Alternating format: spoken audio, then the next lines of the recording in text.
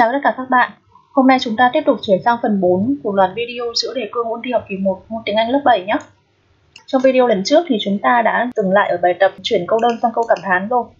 Đây là cái bài hôm trước mà mình đã làm xong cho các bạn này. Và hôm nay thì chúng ta sẽ tiếp tục chuyển sang bài tập cho dạng so sánh đúng của các tính từ ở trong ngoặc và bài viết lại câu rồi bài đọc hiểu, vân vân. Chúng ta sẽ còn một số các bài tập khác thì mới kết thúc được cái bộ đề cương này. Và hôm nay chúng ta tiếp tục cùng nhau làm ờ, các bài tập này nhé. Chúng ta đi vào bài đầu tiên này. Bài này là chúng ta có thể cho dạng so sánh đúng của những tính từ trong ngoặc này là so sánh hơn hoặc so sánh nhất và phải thêm gian vào khi mà cần thiết. Rồi, câu thứ nhất này, thời tiết trở nên gets ở đây có nghĩa là trở nên nóng ngày hôm nay thì chúng ta có thể nói là gì? Thời tiết trở nên nóng hơn ngày hôm nay đúng không? Thì chúng ta sẽ chia cái tính từ hot này ra ở dạng so sánh hơn là hotter, đúng không nào? Các bạn chú ý là chúng ta phải nhân đôi cái phụ âm t ở cuối lên nhé tại vì là với những tính từ ngắn, có một âm tiết mà kết thúc bởi một phụ âm. Và trước phụ âm đó là một nguyên âm như thế này. Chỉ một nguyên âm thôi nhé nếu mà hai nguyên âm liền nhau thì không tính. Nếu mà có một nguyên âm, thì đằng sau là một phụ âm. Thì khi chúng ta thêm đuôi ơ hoặc đuôi ist, thì chúng ta sẽ phải nhân đôi cái phụ âm cuối đó lên ví dụ như hotter hoặc là bigger chẳng hạn. Rồi câu thứ hai. Cái thước kẻ này thì dài hơn cái kia đúng không? Ở đây có sự so sánh chiều dài của hai cái chiếc thước kẻ dưới đây có this và có that. Chúng ta hiểu đây là một câu so sánh hơn đúng không? Và tính từ long là tính từ ngắn này. Chuyển sang so sánh hơn, dài hơn. Sẽ là gì các bạn? Longer. Đúng chưa nào? Và phải thêm gian nữa. Vì ở đây chưa có từ gian đề bài yêu cầu chúng ta là phải thêm gian khi cần thiết. Vậy các bạn sẽ chuyển câu này thành thành là gì? This ruler is longer than that one. Ok, chưa nào? Câu thứ ba này. Cô ấy thì thông minh này, intelligent là thông minh trong lớp chúng tôi. Khi làm một câu so sánh mà có in hoặc là of, hoặc là of all, thì câu đó sẽ sử dụng so sánh nhất. Tức là nó đến một đối tượng nào đó mang một cái phẩm chất gì đó nhất trong một tập thể trong một nhóm hoặc là một hội nào đó, vân vân. Thì câu này có nghĩa là cô ấy thì thông minh nhất trong lớp chúng tôi, đúng không? Để chúng ta sẽ chuyển cái từ intelligent là sang so sánh nhất. Sang so sánh nhất. Với cái từ intelligent, ở đây là tính từ dài này. So sánh nhất của tính từ dài này thì chúng ta sẽ phải thêm the most và rồi đến tính từ intelligent. Rồi cô ấy thì thông minh nhất trong lớp chúng tôi. She is the most intelligent in our class. Được chưa các bạn? Câu số 4 nhé. Những căn phòng này, these, ở đây là số nhiều của this, là những căn phòng này thì rộng hơn những căn phòng kia, đúng không nào? Ở đây các bạn có thấy sự ờ, đối lập giữa these và those, đúng không? Những cái này và những cái kia. Như vậy đây là câu so sánh hơn. Large là rộng, là rộng về diện tích, đúng không? so sánh hơn của nó sẽ là larger thêm đuôi ơ. Ở đây có chữ e rồi, chúng ta chỉ việc thêm chữ r thôi. Đây là tính từ ngắn, cho nên là chỉ cần thêm ờ, đuôi ơ này là đủ. Larger và còn thêm gì nữa nhỉ? Gian đúng không? Các bạn chú ý nhé. Những câu này chúng ta đọc kỹ thì nó chưa có gian, các bạn phải thêm gian vào khi cần thiết này. Nếu mà chúng ta chỉ biết larger không mà không có từ gian ấy cái câu này bị sai nhá. Thiếu mất một từ. Rồi câu số 5 này. Thành phố Hồ Chí Minh thì rộng hơn hoặc lớn hơn Hà Nội đúng không nào? Big là tính từ ngắn. Nên khi chuyển sang so sánh hơn chúng ta sẽ phải thêm vừa e và thêm một phụ âm chữ g nữa, nhân đôi phụ âm g lên. Như mình nói ở trên. Là một tính từ ngắn khi kết thúc bởi một phụ âm ở trước phụ âm đó là một nguyên âm thì chúng ta sẽ phải nhân đôi cái phụ âm cuối đó lên khi mà thêm đuôi ơ thì thêm cái hậu tố ơ và ist để tạo so sánh các bạn nhớ thêm từ gan vào nữa nhé là to hơn. Được chưa nhỉ? Câu số 6 ai là người cao nhất trong gia đình bạn? Rồi, có in your family, đúng không? Vậy chúng ta hiểu câu này dùng so sánh nhất. Tall là tính từ ngắn. Thì khi sang so sánh nhất thì chúng ta sẽ phải thêm the này. Và tính từ ngắn thì chúng ta chỉ việc thêm đuôi is ở phía sau tính từ là xong. Được chưa? Who is the tallest person in your family?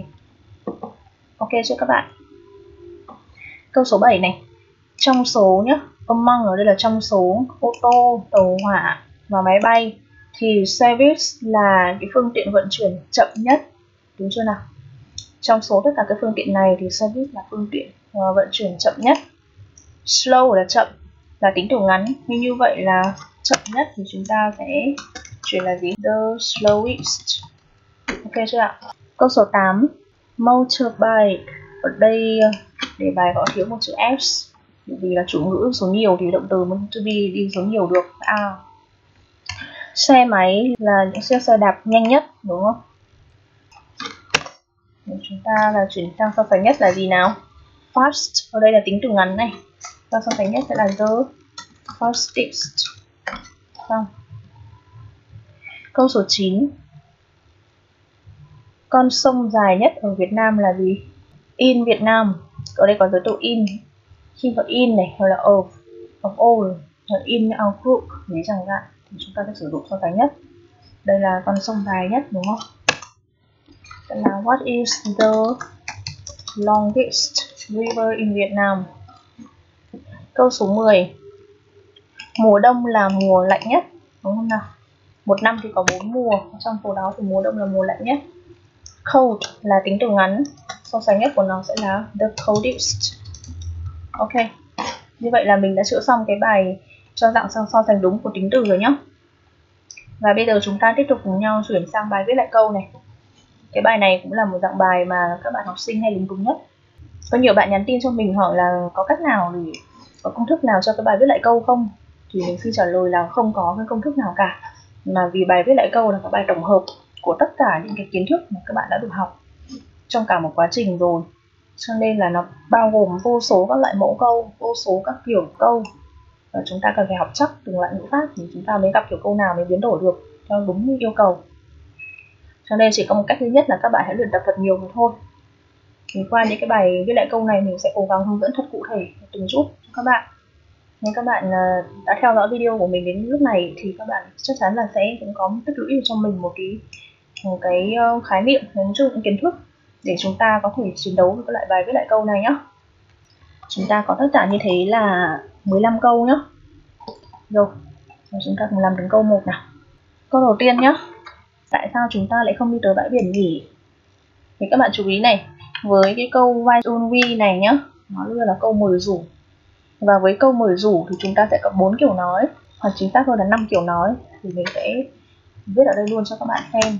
Thứ nhất là why don't we đúng chưa nhỉ cộng với động từ. Ừ, chấm.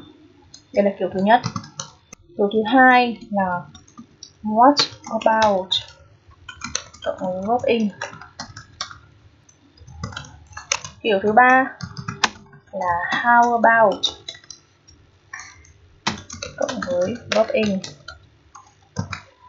Rồi. Kiểu thứ tư là less less một cộng với gốc nguyên thể rồi, và kiểu thứ năm là các bạn thấy ít dùng hơn nhưng mà thi thoảng vẫn cứ gặp. Đó là shall we. Shall we rồi cộng với động từ nguyên thể rồi. Thì trong số năm cái kiểu nói này, tất cả năm cái kiểu nói này đều là loại câu mời rủ.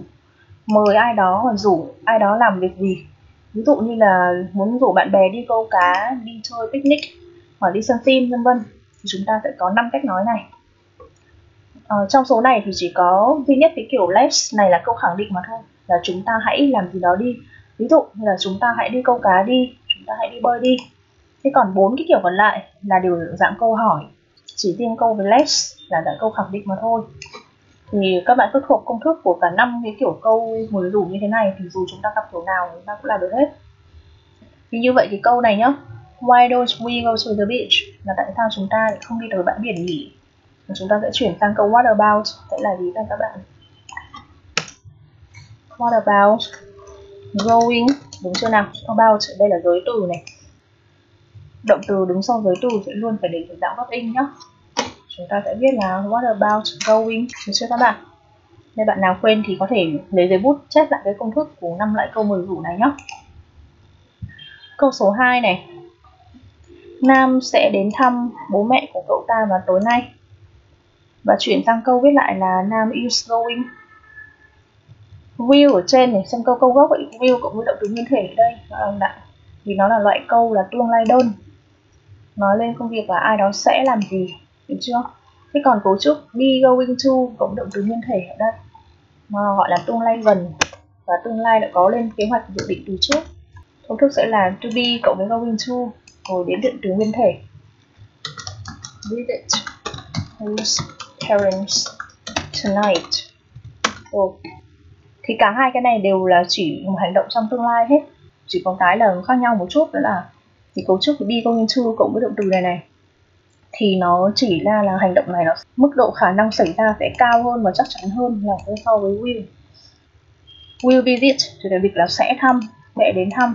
Còn is going to visit thì dịch là định thăm, định sẽ đến. Tức là có chữ định trong đầu này đã được lên kế hoạch từ trước rồi. Và khả năng xảy ra sẽ cao hơn so với will. Thì các bạn hiểu chưa nào? Từ câu số 3 nhé.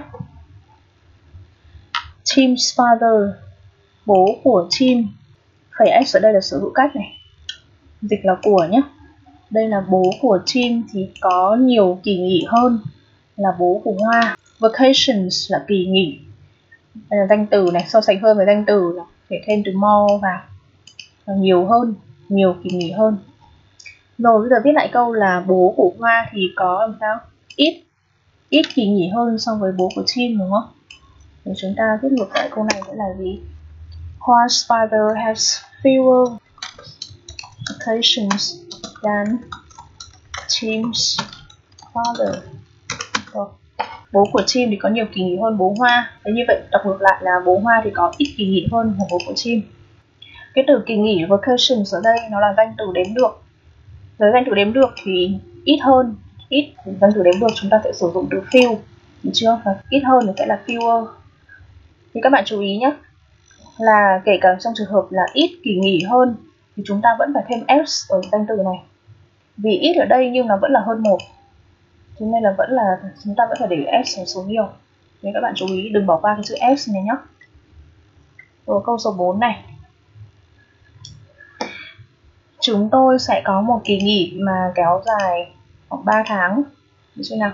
Như vậy là chúng ta sẽ chuyển câu này sang dạng tính từ ghép chúng tôi sẽ có một kỳ nghỉ dài 3 tháng đúng không? Cái này mình đã từng giảng qua trong một cái bài đề thi của lớp 7 trước đây rồi. Bây giờ mình nói lại này. Ví dụ như mình có một câu là một giờ nghỉ tại Lao là a break.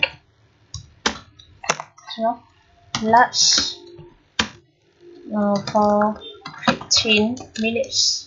Một giờ nghỉ tại Lao mà kéo dài 15 phút chúng ta sẽ biến cả cái câu đơn này thành một cụm danh từ, trong đó có cả bao gồm một tính từ ghép và danh từ. Thì sẽ thành gì đây? Đầu tiên là ơ này, sau đó là điểm số đếm này. Số đếm đây là 15 này 15 quan trọng tiếp là các bạn phải có một dấu gạch nối như này. Và đến từ chỉ thời gian không có s. Từ chỉ thời gian trong câu này chính là từ minute được chưa? Là phút. Đấy, các bạn cho vào đây. Minute và không được có s nhé rồi mới đến danh từ. Danh từ trong câu này chính là break. Chính là từ đứng ngay sau cắn từ đúng không? Break. Rồi xong. Có nghĩa là một giờ nghỉ giải lao mà dài 15 phút. Đó là 15 phút được chưa? A 15 minutes break. Thì các bạn thấy trong cái cụm này nhá, break ở đây vẫn là danh từ này. Còn cái 15 gạch nối minutes này là một tính từ ghép cái gạch nối này đã nối con số đếm này với tủ chỉ thời gian này với nhau để tạo thành một tính từ duy nhất, một tính từ ghép để bổ sung ý nghĩa cho danh từ đứng sau. Một cái lưu ý rất quan trọng là với tính từ ghép mà các bạn bắt buộc phải có cái dấu gạch nối là một này, và không được có s đầu sau từ chỉ thời gian. Các bạn nhớ nhé, nếu như có s ở đây là sai này thiếu gạch nối cũng là sai này. Vì đã là tính từ thì không được có s nữa. Số nhiều không nằm ở tính từ tính từ không có dạng số nhiều, chỉ có danh từ mà có số nhiều mà thôi nó là một cái hai là cái dấu cách nối này dùng để nối con số đếm với cả từ chỉ thời gian và là một. Trong câu này nhá sẽ là chúng tôi sẽ có một kỳ nghỉ dài 3 tháng đúng không? Thì các bạn cứ nhặt từng yếu tố ra. Đầu tiên đã có quán từ ơ rồi này. Rồi đến số đếm này số đếm ở đây chính là số 3 đúng không? 3 các bạn có thể viết cả số hoặc là uh, chữ cũng được tùy nhá. Tiếp đến là một gạch nối này. Đúng chưa nhỉ? Ở đây thì mình viết phân số nhé three này, không gạch nối này. Sau đó là đến từ chỉ thời gian, chính là từ month, đúng không? Các bạn bỏ s đi. Còn thế này thôi. Và cuối cùng mới là đến danh từ. Danh từ ở đây là vacation. Vacation, xong. Có nghĩa là gì? Chúng tôi sẽ có một kỳ nghỉ kéo dài 3 tháng. Được chưa nào? Thì cái three gạch nối month đây chính là tính tiểu ghép các bạn hiểu chưa nào. Tuyệt đối là không được có s ở đây và tuyệt đối là cũng không được thiếu dấu gạch nối. Hai cái yếu tố này là quan trọng nhất. Nên bạn cứ theo đúng từng bước đấy mà làm cái câu này nhá. Rồi. Câu số 5 này. Anh ta thích uống trà sau bữa ăn, sau các bữa ăn. Likes ở đây là thích. Thì có một động từ đồng nghĩa với likes là enjoy, đúng không? Và đằng sau enjoy thì bao giờ chúng ta cũng phải để động từ là dự dạng gì? Verb in đúng chưa nào? Sẽ là he enjoys drinking tea after meals. Xong. Ok chưa các bạn. Câu số 6 chúng ta hãy nói về bộ phim này đi. Let's talk about this film. Rồi di chuyển sang câu why don't we, đúng không? Đây là câu mời rủ ở trên mình đã nói rồi, đúng chưa nào? Why don't we? Đây rồi đến động từ nguyên thể, đúng không nào? Và chúng ta sẽ chuyển câu này như sau. Why don't we talk about the film xong tại sao chúng ta lại không nói chuyện về bộ phim này nhỉ? Câu số 7 cậu nên rửa tay trước các bữa ăn, chuyển sang ought ought thì bắt buộc phải có to ought thì cũng có nghĩa là phải hoặc là nên thì các bạn phải có to đằng sau nhé rồi với đến động từ này you ought to watch Nice. xong được chưa các bạn nhỉ ought thì bắt buộc phải có chu nhé rồi mới đến mẫu rồi câu số 8 What does your father do? Có nghĩa là bố cậu làm nghề gì? Đây là một câu hỏi về nghề nghiệp, đúng không? Với câu hỏi nghề nghiệp thì chúng ta sẽ có 3 kiểu hỏi. Kiểu thứ nhất chính là kiểu của đề bài này, là hỏi với động từ thường là what does sau đó đến đối tượng người nào đó này, rồi đến động từ do, được chưa? Là ai đó thì làm nghề gì, bố cậu làm nghề gì. Cách thứ hai là what is your father? Các bạn có thể viết theo kiểu thứ hai này cũng được là bố cậu là gì ý là bố cậu làm vai trò làm công việc gì được chưa nhỉ ví dụ là trả lời là, my father is a doctor chẳng hạn, là một bác sĩ. Và cách hỏi thứ ba sẽ là, what is your father? Trong một phẩy s ở số hiệu cách. Và cuối cùng là, job. Job ở đây là danh từ có nghĩa là nghề nghiệp. Nghề nghiệp của bố cậu là gì, được chưa? Thì các bạn có thể làm theo kiểu ba kiểu như thế này chọn kiểu nào cũng được với cái câu viết lại mà có what is như này thì các bạn có thể chọn một trong hai kiểu này. Kiểu nào cũng đều đúng hết nhé và nếu như cũng dùng cái kiểu thứ ba mà có từ job này thì bắt buộc không được thiếu cái phải s của nghề nghiệp của bố của cậu đúng thế nào? Nếu như không có cái phẩy s này thì coi như câu này cũng vô nghĩa luôn. Rồi, câu số 9 đây là một bữa tối thực sự rất là ngon. This is a really delicious dinner. Và chúng ta phải chuyển sang câu cảm thán. Các bạn để ý cái dấu chấm than ở cuối câu này, tức là câu này câu cảm thán đúng không? Với câu cảm thán với what lần trước trong cái video lần trước mình đã hướng dẫn rất là kỹ rồi. Thì các bạn muốn biết được câu cảm thán đó là như thế nào thì các bạn thì nhìn vào cái danh từ của câu. Cái danh từ của câu này là từ dinner đúng không? Đây là danh từ đếm được và số ít, đúng chưa? thì bắt buộc phải có ơ hoặc ân đúng không nào trong câu này, biết ơn hay ân, thì các bạn nhìn hết ra đến cái tính từ. Tính từ ở đây là delicious, mà nó bắt đầu với một phụ âm. Thì như vậy thì chúng ta sẽ sử dụng ơ. Thì còn nếu tính từ bắt đầu với một nguyên âm hủy hoài thì chúng ta sẽ sử dụng ân, đúng không? Cái câu này delicious là bắt đầu với một phụ âm, nên là câu này sẽ dùng ơ nhé what's a delicious. Sau quán từ sẽ là tính từ, và sau tính từ thì sẽ là danh từ, đúng chưa? Xong rồi what a delicious dinner Dịch nghĩa là gì thật là một bữa tối mới ngon làm sao hoặc là bữa tối thật là ngon đúng không mang ý nghĩa cảm thán ok xong câu số 9 chúng ta sang câu số 10 những cuốn sách này thì rất là thú vị Not so interesting. Cũng lại chuyển sang câu cảm thán này. Thì các bạn xem câu này số danh từ gì đây? Danh từ trong câu trên là books, đúng không? Đây là danh từ đếm được mà ở số nhiều. Đã số nhiều thì chúng ta không còn ơ ân nữa. Đúng chưa nào? Như vậy chuyển luôn sang đến tính từ. Tính từ ở đây là interesting, là thú vị, đúng không? Rồi mới đến danh từ số nhiều đến được. Các bạn đừng có quên chữ s này nhá. bạn nào mà thiếu chữ s thì nó thành số ít bạn đã số ít thì lại thiếu ơ ân ở đây coi như là sai luôn nhá rồi những cuốn sách thật là thú vị hoặc là thật là những cuốn sách thú vị làm sao câu số 11 cái tủ lạnh mới này refrigerator là tủ lạnh này, thì to hơn cái tủ lạnh cũ. Nếu như vậy, chuyển lại là gì? Cái tủ lạnh cũ thì nhỏ hơn cái tủ lạnh mới, đúng không? Sẽ thành the old refrigerator is nhỏ hơn là smaller. Trái nghĩa của bigger là smaller, đúng không? Trái nghĩa của to hơn là nhỏ hơn than the new one. Rồi chúng ta tránh nhắc lại cái danh từ đằng trước. Nên chúng ta sử dụng từ one để thay thế cho danh từ đằng trước. Câu số 12 cái bàn thì ở đằng trước cái ghế. Cái cụ in front of có nghĩa là ở đằng trước. Thì như vậy là gì? Cái ghế thì ở đằng sau cái bàn, đúng không? Trái nghĩa của in front of sẽ là từ gì các bạn? Behind, đúng không nào? Là ở đằng sau. Thì sẽ thành gì? The chair is behind the table xong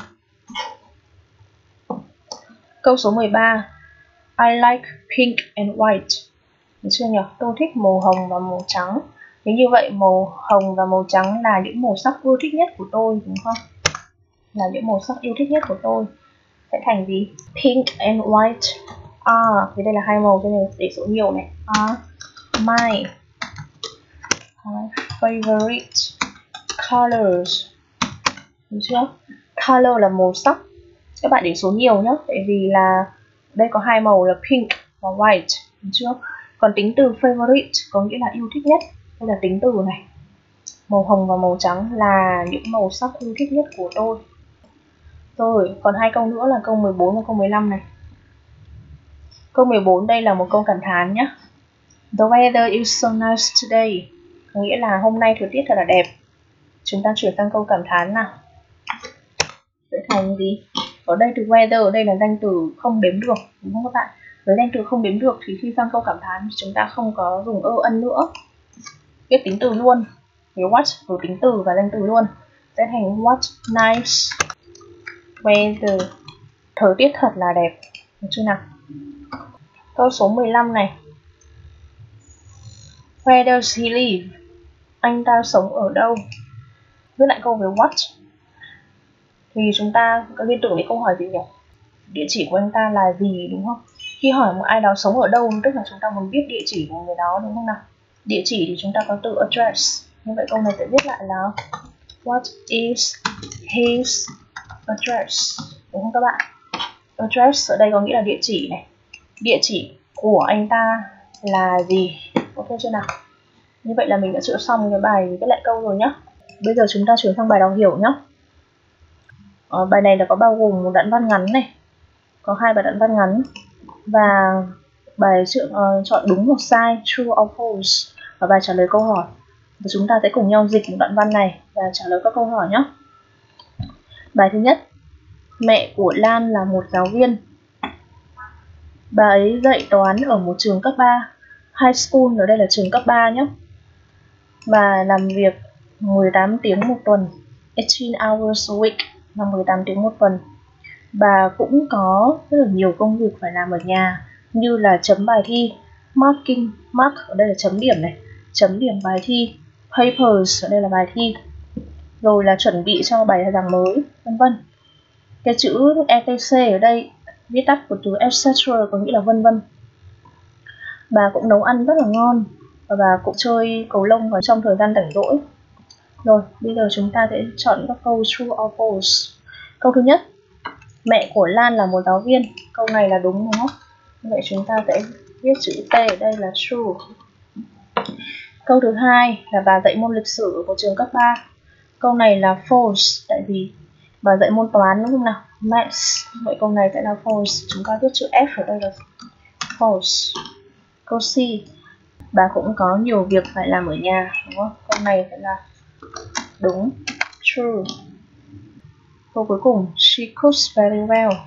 Bà nấu ăn cũng rất ngon. Câu này là true đúng không nào? True. Ok. Đâu trả lời câu hỏi này. What does Lan's mother do? Câu này có nghĩa là mẹ của Lan làm nghề gì, đúng không? Chúng ta trả lời là she. A teacher Bà ấy là một giáo viên. Câu thứ hai, Where does she work? Tức là bà ấy làm việc ở đâu? Thì là gì? Bà ấy làm việc ở một trường cấp 3 Đúng chưa nhỉ? Hoặc là she teaches maths at a high school She teaches maths at a high school. Rồi.